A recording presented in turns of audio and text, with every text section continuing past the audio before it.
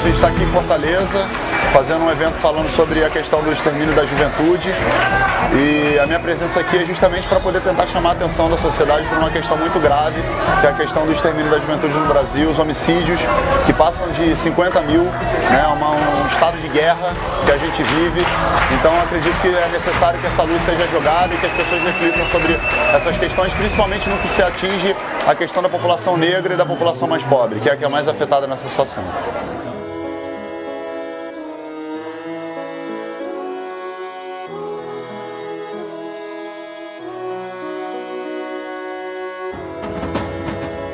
Esse jovem é, pela sociedade é tratado como um animal, um bandido e dessa forma vivemos essa falta de solidariedade com a morte, com a condição de vida desses, adolescentes e desses jovens. O que nossa visão mundial queremos é impactar e conseguir bem-estar para crianças, adolescentes e jovens do Brasil todo. Né? E para isso nós temos que mobilizar pessoas, ideias, recursos, enfim, convocar toda a sociedade para olhar para a criança, para olhar para o adolescente, para olhar para o jovem que é vítima de tantas violações e que não tem seu direito garantido.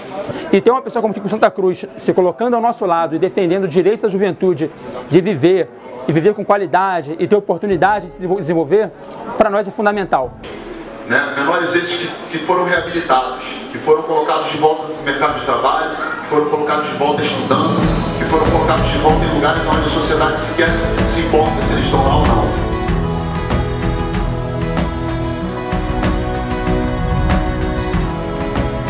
ao chão, eu vejo na minha frente. Ouço choro de mães quando o clima fica quente, inocentes. Até as madame pede paz. Nós contam os velórios e elas levantam cartaz, mano. Quanta ironia, sarcasmo na verdade. Se até um tempo desse ela apoiava o apartheid. Enquanto a guerra segue, seguimos sem direção. O peito aperta, a lágrima cai e só vejo corpos ao chão.